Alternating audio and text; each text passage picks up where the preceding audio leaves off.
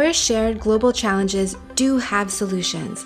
Climate change is a major global challenge facing developing countries, impacting lives, livelihoods, and economies at an unprecedented scale.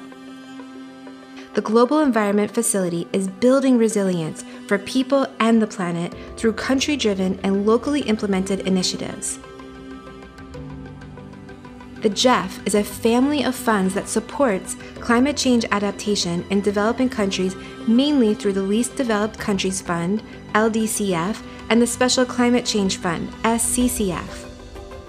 Established during UNFCCC COP7, these long running and highly effective multilateral adaptation funds have programmed more than 2 billion US dollars in grant funding, supported approximately 500 projects benefiting more than 65 million vulnerable people, and made more than 14 million hectares of land more climate resilient.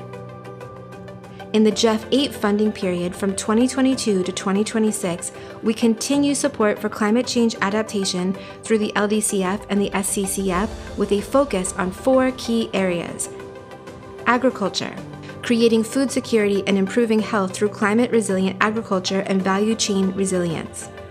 Water, improving the availability and quality of water with integrated water resource management.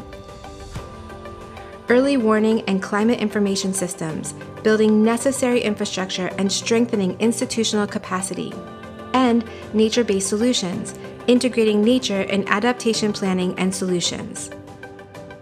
The SCCF supports all developing countries increase their climate resilience in two important and distinctive ways supporting the adaptation needs of small island developing states and mainstreaming climate adaptation in economic and business planning, such as through technology transfer, innovation, and private sector engagement.